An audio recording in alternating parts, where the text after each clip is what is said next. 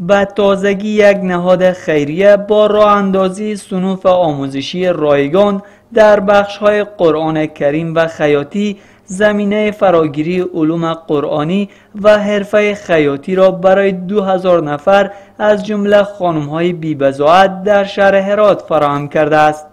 به تعداد 25 26 سنف ما دایر کردیم قرآن شریف و خیاطی کارگاه خیاطی از خانواده های بی از جاهای مختلف ولایت هرات باستان که جاهای دوردست قریب نشین اینا بودن.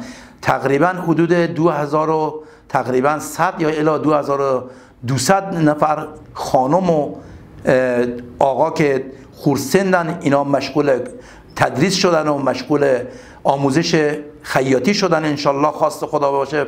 عبدالحد اسکندری مسئول این نهاد هدف از راه اندازی برنامه آموزشی را کمک به اقتصاد خانواده ها و به خصوص فراهم کردن زمینه اشتغال به خانم های خانه و بیبزاعت عنوان می کند بتانیم یک اشتغال پیدا کنیم برای برادرانی که داریم و خواهرانی که داریم که هر یکی امرار یک معاش زندگی را سپری کنن و نیاز به کس دیگه نباشه. نیاز به دسترازی به کشورهای دیگه نباشه. چیشم برای یک دیگه نباشه که بیاره یک دو گرام بده یا نده. خیلی نخ عمده داره خوشحال کننده به خصوص بریم مایی که در این بخش سهم داریم تعداد زیادی مراجعه می‌کنن.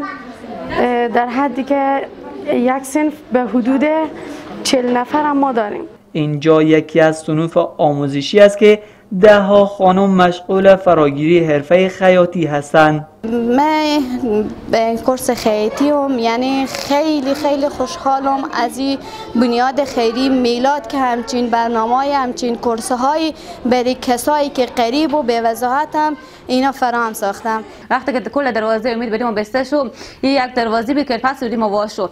و ما خوشمندی در پهلوی بنیاد خیریه میلا کل مثلا بنیاد دیگر ما زنان پیشش قرار از پیشش قرار دادن. و ما حمایت کنم حداقل بشه که به جامعه هم چیزی خدمت می‌کنن چیزی هم به خود خود می‌کنیم توانه دیشته باشیم بتونیم کمی کار کوشش خور بکنیم که به می پروژه آماده انشالله که یاد بگیریم به درد جامعه و فامیل خوب بتونیم بخوریم. شماری از دانش آموزانی که در صنوف آموزش قرآن کریم سرگرم فراگیری علوم قرآنی هستند. از حمایت این نهاد از بانوان ابراز قدردانی می کنند. خوبه که حداقل فرصت استفاده کنم. اول خیر اگه در حوزه مکاتب یا دانشگاه بسته حداقل بیام یک حرفه خیاطی باشه دستامی باشه نقاشی باشه یا زبان باشه فرق نمی‌کنه.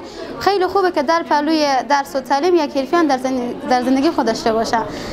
خیلی هم تشکر داریم که ما به تحت حمایت گرفتن.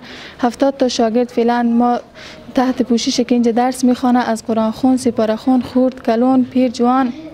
زمینی درس و تعلیم برای ما خیری میلاد فراهم نمودم و خیلی تشکر می‌کنم از اینا که ما اینجا تحت درس و تعلیم قرار دادم در کنار خانم ها این نهاد خیریه زمینه آموزش علوم قرآنی را برای صدها نفر از بخش ذکور نیز فراهم کرده است. و اینجا ما تقریبا چهار بخش داریم یک بخش بخش دخترها و نسوانه که راز و جدایه و یک بخش دار الحفاظ بچه ها داریم که اینجا حافظی و دیگه تربیه میشه. یک بخش بخش مدرسه که این مدرسه تقریبا ما